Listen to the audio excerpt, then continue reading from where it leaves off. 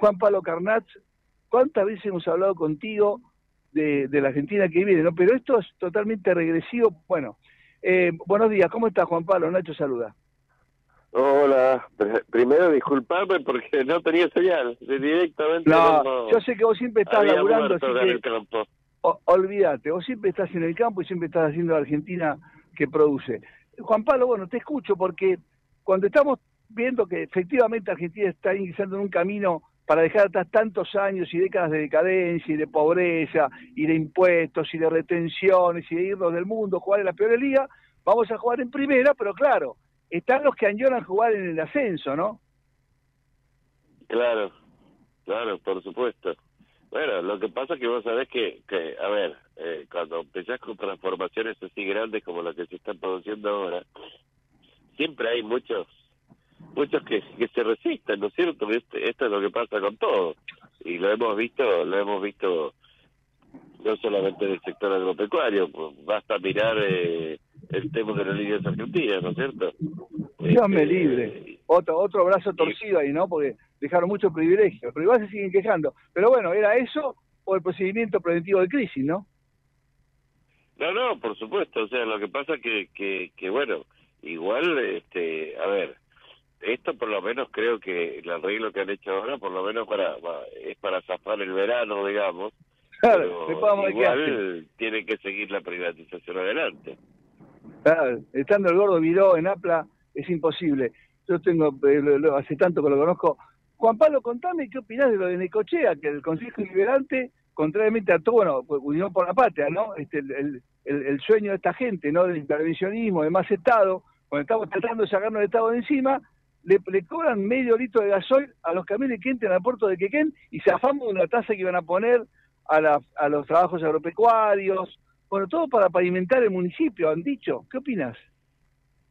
No, no, me parece una locura, o sea, eh, digamos, pero eh, eh, ojo que no está pasando solamente ahí.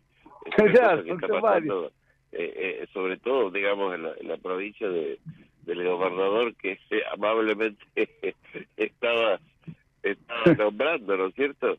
Y, y bueno, el señor va a contramano de la historia, digamos, creo. Este, no, no, hay nada que hacer, entonces empiezan empiezan todos sus sus intendentes a, tomar este tipo de medidas que son eh, una barbaridad, que van contramano de todo. O sea, vos viste que cómo, cómo, cómo, cómo ha tratado al sector agropecuario eh, el gobernador de Buenos Aires este, con, con el impuesto inmobiliario, con, digamos, con, con, con todo. O sea, eh, tratan de, de, bueno, yo, yo, yo creo que dice claramente no quiere el sector, siendo que Buenos Aires es, a ver, la provincia con mayor producción agropecuaria de, del país, ¿no es cierto? Claro, pensemos en que queden igual, dos de los tres puertos, ¿no? Que queden igual, después queda el Jal de Rosario, para ahí tenés que queden igual y Kicillof siempre, yo sabes que me explico de qué se ríe. Para mí se ríe de nosotros, está claro, pero pero que afloje un poco, ¿no? No, por supuesto, aparte que acordate que, que los, puertos de allá son puertos de aguas profundas y para eso para nosotros son, son, son fundamentales. O sea, Rosario es un, es un puerto, que, un puerto que, que depende cómo está el río y el dragado, etcétera. Claro, no salen, no salen con todas las cargas que podrían salir los grandes barcos, ¿no es cierto? Entonces es lógico que los, los, los puertos de aguas profundas que tenemos sobre el Atlántico este, eh, puedan funcionar a full y normalmente, digamos, por llamarlo de alguna forma. ¿Sabes lo que yo pensaba? Corregime, ¿no? Porque yo soy además muy vicioso con los números, Juan Pablo. Eh, se estimó en 16 mil millones de pesos de sobrecosto adicional en un campo que está viendo cómo logra acuerdos, inclusive propone esta segunda propuesta cómo salimos de la retención. Y yo digo, el día que esta administración saque el CEPO, que está cada vez más cerca, y saque retenciones, no va a haber camino, puerto, sí lo que alcance. Pero bueno, seguimos con las retenciones porque falta guita. Ahora lo que digo es, meterle 16 mil palos a un campo que está agobiado por la presión impositiva, mirando siempre el clima, por un mundo que se calienta, son 16 mil palos más, digamos, ¿no? Y el tipo, el intendente se ríe de eso. No, no, no, por supuesto, por supuesto, eso, eso, eso, eso es lo que está pasando. Eso es lo que está pasando, porque vos decís, a ver, eh, eh, no es muy prolijo, pero digamos, parece una cargada. Eh, obviamente hay un problema ideológico este, y se para así enfrente del campo y eso le da la pauta y le da el, el plafón para que, bueno, todos los intendentes adictos y qué sé yo, este, eh, actúen como, como actúa él, digamos, ¿no? Entonces, eh, bueno, yo creo que hoy es, es, digamos, eh, es el problema que, que, que, tenemos, ¿no es cierto? Este, provincia de Buenos Aires es el problema que tiene que, que, tiene el país en general eh, para todos los sectores y especialmente para el sector agropecuario. Hoy este, la provincia de Buenos Aires con su gobernador va a contramano y eso es un problema. Claro, es un foco de resistencia ideológico político. Clarísimo. Ahora, ¿hay alguna chance de que las entidades madres hagan algo? Digamos, ¿esto está, es cosa jugada? o Porque ya, bueno, la, legislatura local lo sancionó esto, pero ¿hay, hay, hay alguna chance de dar marcha atrás? Bueno, lo que pasa es que acá eh, entras en, en, en, los temas, o sea, eh, ¿cuál es el drama de todas estas situaciones? Que después se, se, se judicializan, ¿no es cierto? Claro, y ahí y, ahí empieza otra vez una historia que vos sabés que eh, en el tiempo complica complica terriblemente, ¿no es cierto? Aparte te distrae, te distrae de todo. Pero bueno. Ahora, vos, si vos tenés que despachar camiones, ¿no? Pero, a ver, en ecuación, ¿no? ¿Te conviene mandarlo a White o lo mandás igual a... Bueno, no, no podés prescindir de Ken porque eh, hay una lógica para eso. No, por supuesto, por supuesto, por supuesto. Y esto, esto en definitiva, bueno, eh, es, es un es un costo un costo más. Este, claro, un costo más. Vos sabés que eso eso ha pasado también en, en, Rosario, ¿no es cierto? Empresarios se, se han solucionado algunos temas en los cuales se cobraba un peaje extra por cada camión que, que estaba esperando. Qué increíble. Este, por el solo hecho de estar en la cola, digamos, ¿no es cierto? Por llamar de alguna forma para que para que se entienda. Y, bueno, eso se ha logrado eh, arreglar, pero pero digamos que cuando vos tenés este eh, un gobernador y, y, y sus así con la con la cabeza cerrada, digamos, este, me salía otra palabra que, que se usa mucho, ¿no? Este, que es la de termo. Sí. Pero bueno, exactamente. Se, complica, se complica evidentemente más, ¿no? Porque no entienden razones. Y como, como decíamos antes, son cosas que, que, que aparte de la, situación económica, son, son, son ideologías. Decir, bueno, estos tipos que paguen. Juan Pablo, eh, otra vez, vos conocés mucho el funcionamiento macro, ¿no? Una semana donde el dólar casi tocó, se tocaron las puntas de Nación Oficial y Blue, donde hay una euforia, por lo menos argentinos, estamos más cerca de los 700 puntos básicos, más los cuatro, estamos en 13 si queremos ir al mercado voluntario, 11, eh, donde se dispararon los bonos soberanos, donde se dispararon las acciones, eh, hacer hubo medidas desde el punto de vista del dólar comercial, por la, es decir, hay, están pasando cosas, más lo de la elección republicana, cómo fue por decidir el presidente de la Nación, el primer presidente que lo era presidente electo de la principal potencia del mundo, que vos conocés muy bien. ¿Cómo, qué, escenario se está configurando para vos? Para mí se está configurando un, un escenario en el cual, este, como vos decís, estamos un poco más cerca de la salida del cepo. Este, yo creo que digamos, el verano va a ser un, un buen un buen momento digamos porque eh, lo único que nos falta es un poco de reservas digamos ¿no es cierto?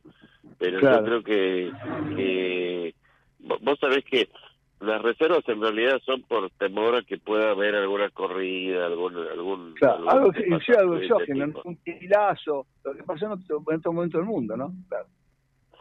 Claro, ahora, ahora eh, aparentemente, digamos, la confianza que están teniendo los mercados, que son los que en definitiva eh, pueden producir esta, una, corrida, este, empujar a una corrida, eh, están, están eh, en positivo, digamos, ¿no es cierto? Entonces, yo creo que estamos ahí más cerca.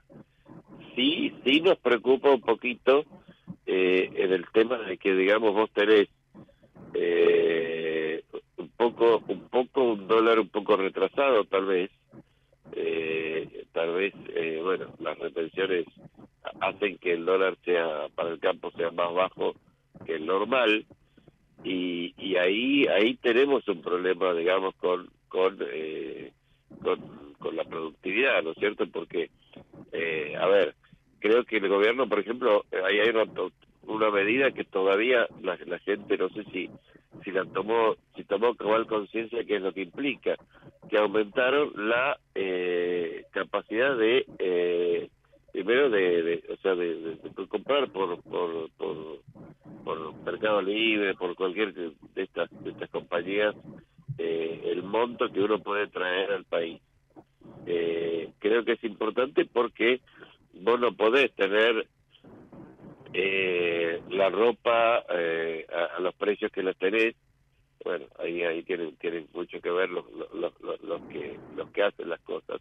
Y creo que que ahí se empieza a, nivelar y se empiezan a abrir ventanitas eh, y, y son signos porque eh, digamos nosotros no podemos eh, yo te he contado que tuve que ir a una reunión en Chile por la Federación de Rural del Mercosur eh, y, y, y bueno, el avión eh, iba lleno de argentinos, era un tour de compras que iba a Chile a, a, comprar de todo. Después yo no sabía, la vuelta era, era espantoso porque venían con bolsas, bolsos, este, este todo de tipo.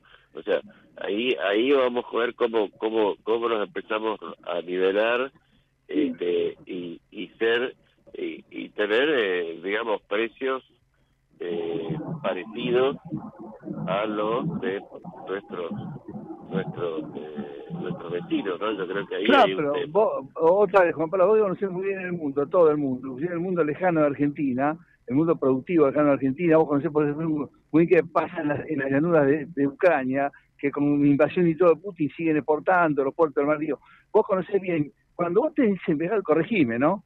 Semejante alteración durante décadas de los precios relativos, claro, cuando volvés al mundo normal, al vecindario de los mejores, y que ese es, por ejemplo, Strozener regula todos los días, desregula lo aéreo, el correo, la, todo, irá, de irá. Pero claro, fueron años de retroceso, de retroceso pavoroso. Claro, cuando volvés al mundo, claro, te das de bruce contra el mundo, te das, te da la jeta contra el piso, de una palabra.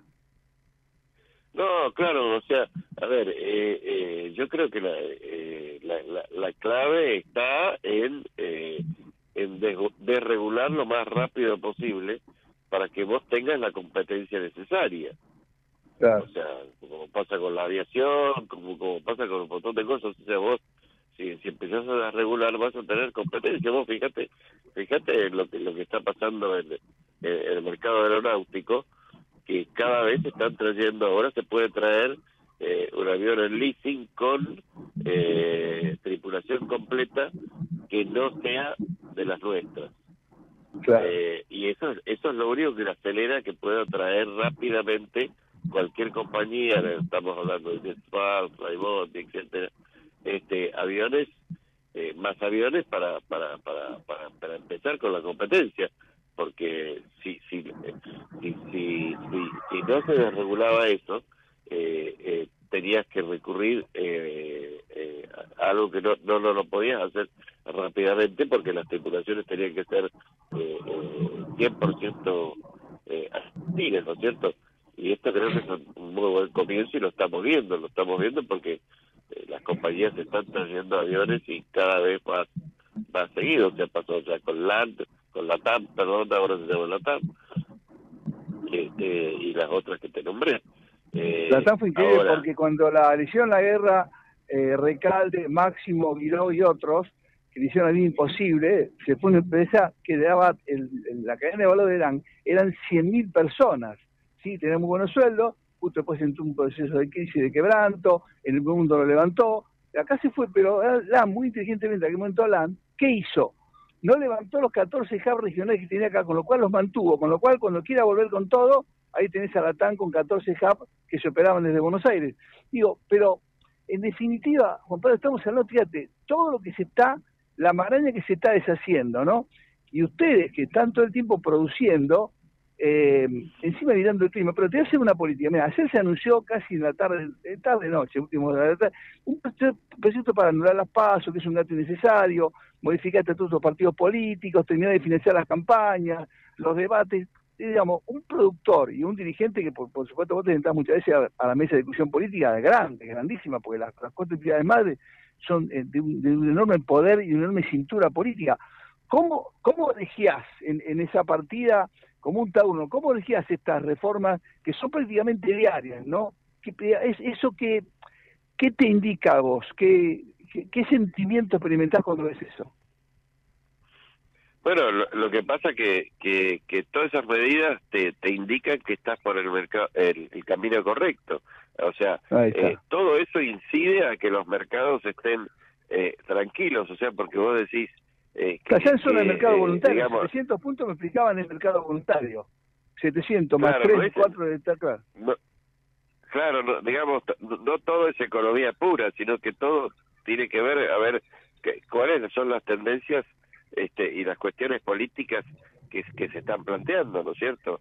Este, yo creo que ahí es, muy importante. Esta semana lo tuvimos la tuvimos en CRAN a la vicepresidenta de la Nación, este, con sus asesores, qué sé yo, que básicamente se pusieron a disposición y escucharon todas las eh, los problemas que tiene el sector creo que eso es muy importante porque a ver eh, eh, acá acá el poder legislativo es es clave y claro no es cierto este más allá de que ahora ahora tenemos una buena que estamos aguantando hasta diciembre cuando se caiga el impuesto país no es cierto claro claro. que, el país no que, que el gobierno no lo va a renovar y eso es eh, eh, importantísimo que ese es ese es un muy buen paso previo para la unificación cambiaria y la salida del cepo porque digamos yo creo que la madre del borrego eh, en el momento es para nosotros nosotros siempre decimos unificación cambiaria y, y, salida del cepo, ¿no es cierto?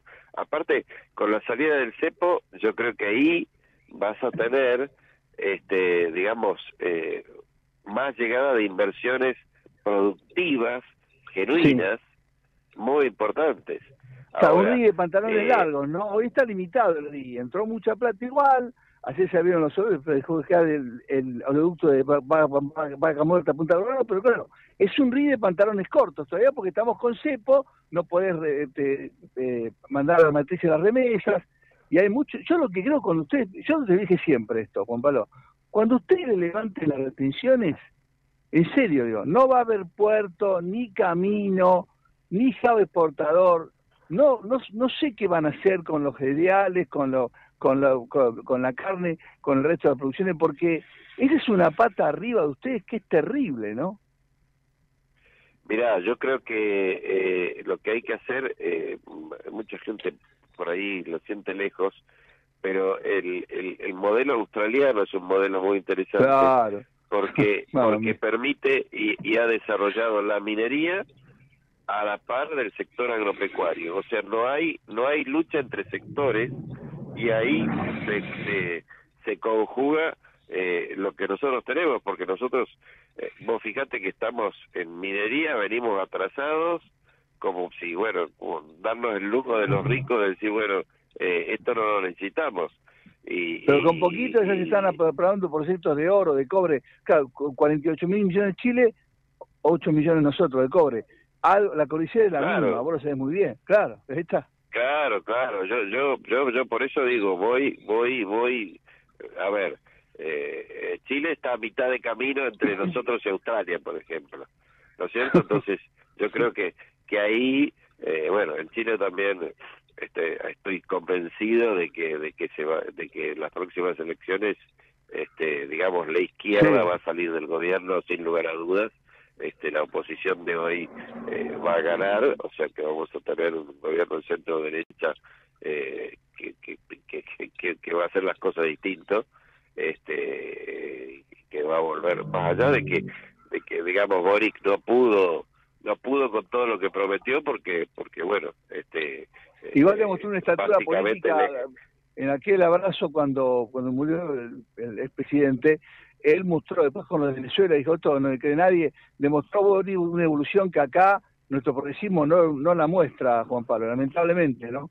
Hasta Boris es más que nuestro progresismo, ¿no?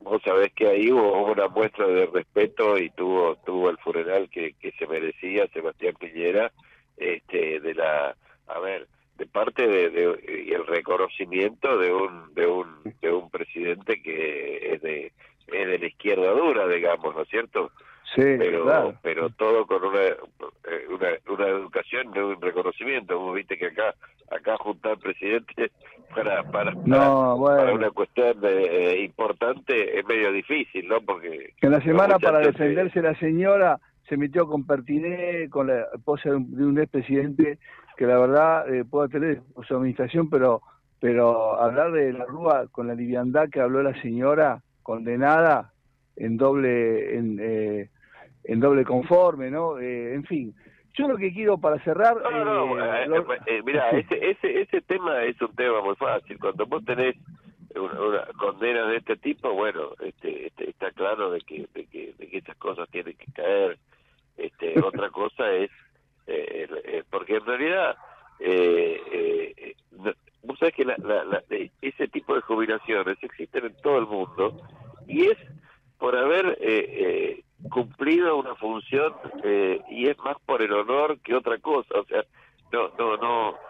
A mí a veces me, me, me complica cuando comparo y miro otros países en el, sistema de que, de que es de privilegio. No, fueron nuestros presidentes eh, y si hicieron las cosas como pudieron, yo como cometieron actos de corrupción, etcétera, este, bueno, eh, tendrán que tener ser un monto razonable, todo lo que vos quieras, pero pero es lógico que existan.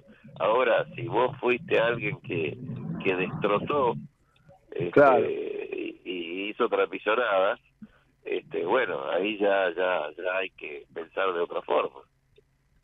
Eh, Juan Pablo, antes de pedirte, eh, Paz lo recibió con elogio, después lo dijo públicamente, el presidente está haciendo un, cambio enorme, en Argentina, te felicito, lo dijo Trump, que dio una paliza a los demócratas en Estados Unidos. Eh, otra vez, señales muy muy impactantes, ¿no? Cuando el 20 de enero asuma, asume un presidente que es amigo, así dijo, es un presidente eh, Gama, que es la, digamos, eh, eh, eh, America First, America Great Again, dijo es un presidente, lo, identificó al presidente argentino. Digamos, volvimos al vecindario de los mejores. Eso me parece que nueve meses después, diez meses después, es muy auspicioso. Sí, sí, yo creo que, eso, que eso es un momento que, bueno, que, que esto esto ayuda muchísimo los a la Argentina y, y vos sabés que, bueno, estas elecciones en Estados Unidos han hecho también eh, los mercados, eh, apoyaron en todo el mundo, se fortaleció el dólar, etcétera.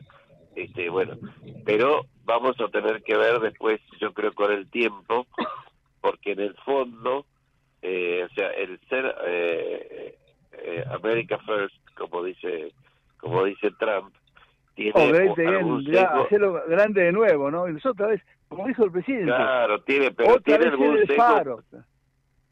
Claro, a la larga tiene, él tiene un sesgo un poco proteccionista y bueno, ahí tenemos tenemos que tener cuidado a ver que no nos afecte a nosotros en en las materias primas y en todo este tipo de cosas que que nosotros estamos tratando de, de, de mandar al mundo aquel que sabe eso vos, yo digo, si a ustedes le sacan la pata encima de las retenciones, no hay barrera arancelaria o para conocés, que pueda con nosotros. Si nos sacan la pata encima, que lo dijo Macri, yo no, lo puedo hacer, ¿sí?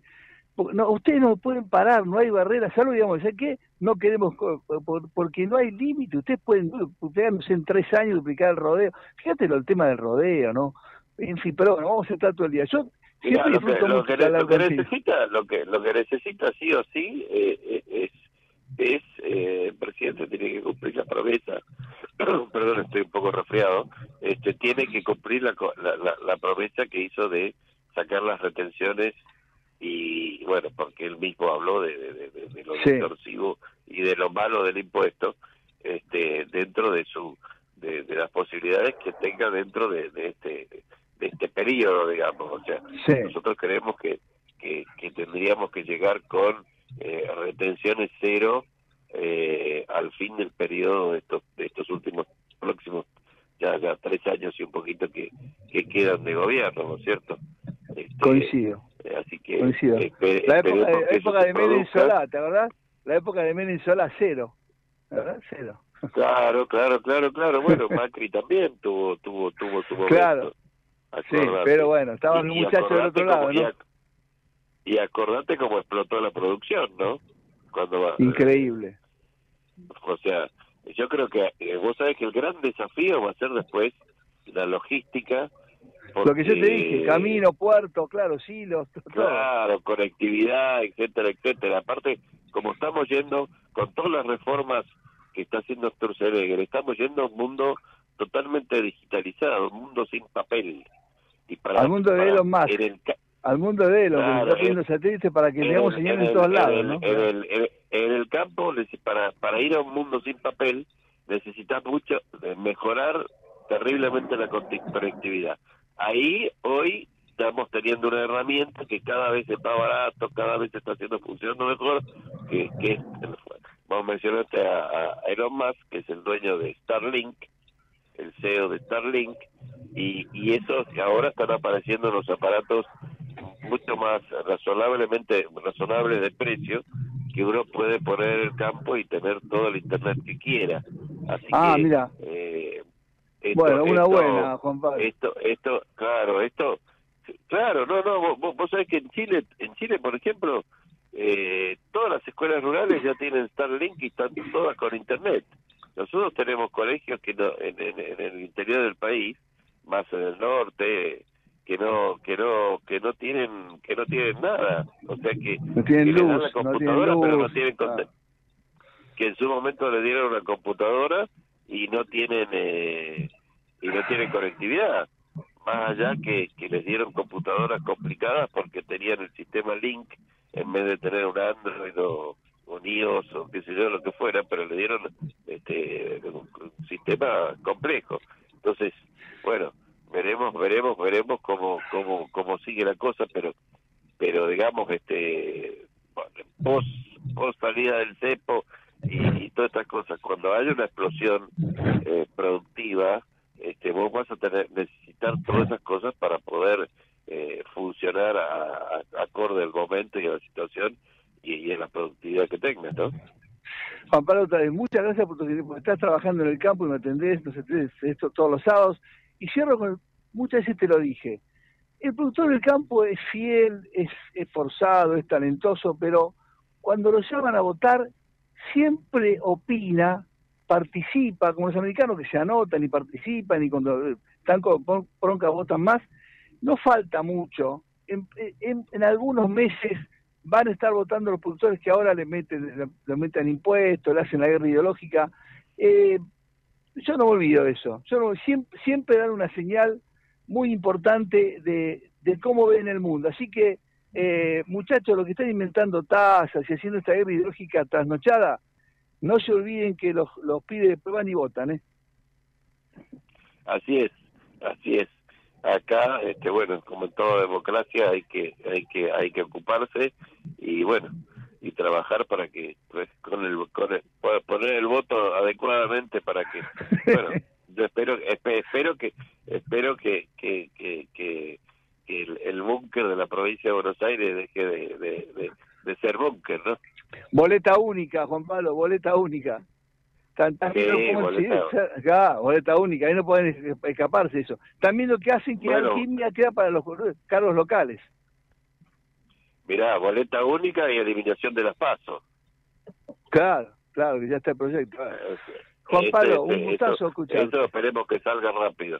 Meta, un gustazo hablar contigo, ¿no? no bueno, que te mejor el también estoy resfriado, este, a las órdenes, y un saludo para toda la barra de CAE y por supuesto para todos los productores argentinos. ¿eh? Dale, un, gusto y un saludo a vos y, a tu audiencia. Muchas gracias por la nota. Por favor, es Juan Pablo Carnat, es, integra la mesa directiva de Conferencia de Argentina, es una de las cuatro entidades madres del campo.